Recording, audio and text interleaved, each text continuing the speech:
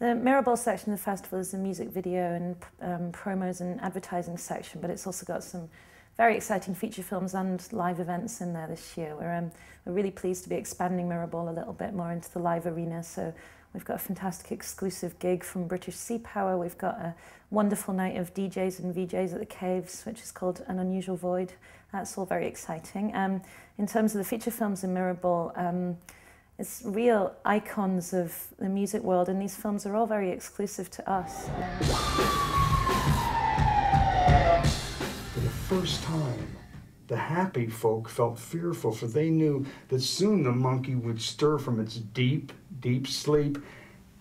Then there came a sound, distant at first, that grew into a cacophony so immense it could be heard far away in space. There were no screams. There was no time. The mountain called Monkey had spoken. There was only fire. And then nothing.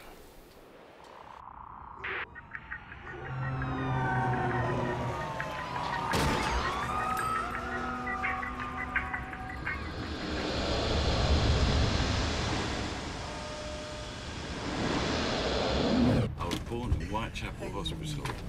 Okay, okay. I was born in He's not only a record producer, he's a songwriter, a poet, a musician, a video expert, and overall a Rastaman. The man I'm talking about is none other than Lee Scratch Perry, better known in Jamaica as the Upsetter, Crucial.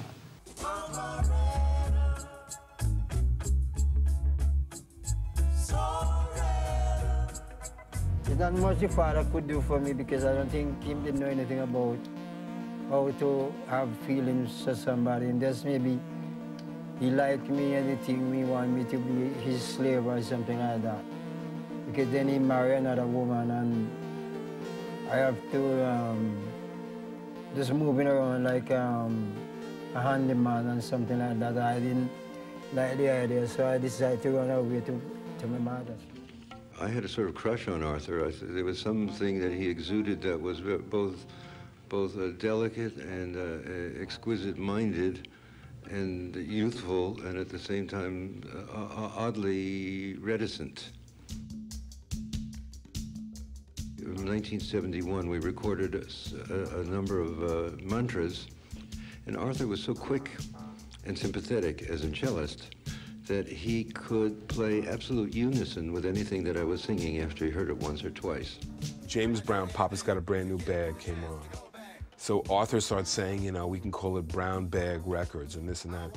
And when he said Brown Bag Records, I said, well, that's interesting. I said, I said, because I'm into a sleeping bag.